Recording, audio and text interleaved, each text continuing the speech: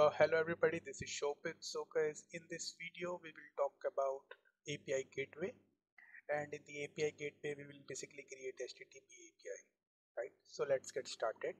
So the very first thing you have to go into your AWS management console. Over there you have to search API gateway. So uh, once you go over there, you will see over here there are lots of HTTP API created so I'll create a new one. So for that you need to click on this create API button. So there are lots of options over here. So currently in this video I will cover the only HTTP API gateway. And uh, this is basically to integrate uh, your HTTP API to a further downstream.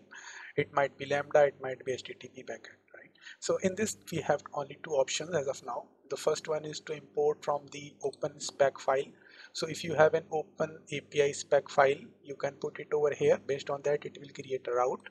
Otherwise you can if you don't have that then you can create by clicking on build.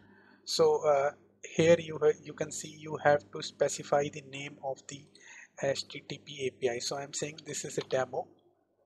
One and over here you can see this is the integration right? So if you want to add some integration you can click it over here. So it will ask it will give two options. One is for lambda one is for http so if you will select something over here based on that you need to specify the details right? So currently i'm not uh, selecting anything. So I'll just need to click review and create. So once you click and create review and create it will give you to this screen and ask you whether this is fine or not because I'm just creating the demo one and no integration is configured as of now. And there is no route configured right? And the stage is stages is default auto deploy would be enabled.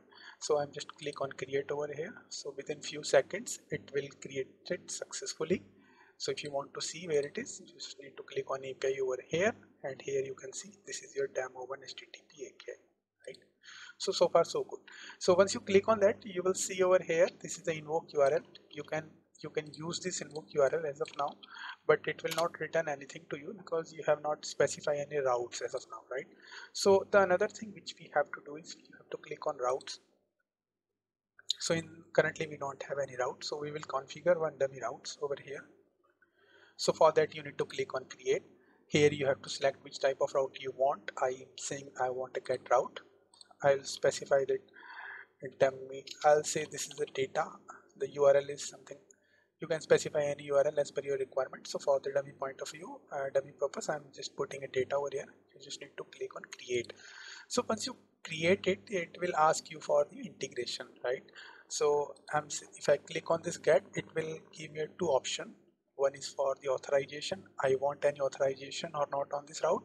So as of now I am not using any authorization but for the authorization I will create another video for uh, for this lambda authorizer right? So I'll put an integration over here. So based on that uh, I'll configure it.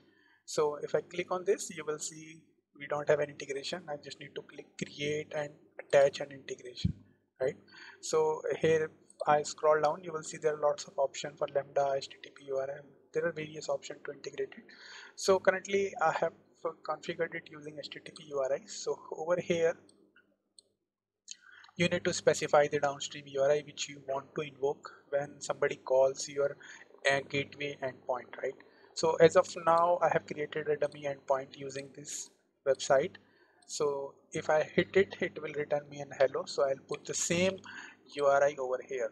So if I'm saying this is for any call if I specify this URL it will return me hello.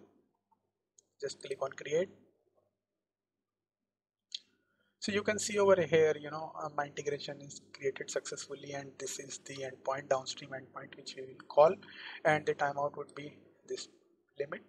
And uh, request parameter and the request mapping is not configured as of now right? If you want to modify it you can click on manage integration. And if you want to de detach the integration you can click on this right? So i want to test this how we can do that right? So for that you need to click on api demo.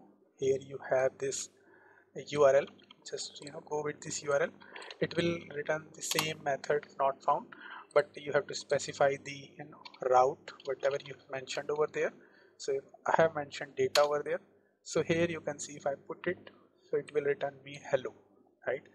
So based on that uh, you will be able to call your http downstream http endpoints right? So this is something a very basic program for api gateway. And in the further section I will in, the further video I'll basically create that authorization so that uh, my my HTTP gateway request would be authorized and once it is authorized then it will call the downstream API or downstream HTTP endpoints. Otherwise it will give me 401 so I hope this video is uh, helpful for you. If you like my work please subscribe my channel. Thank you for watching this video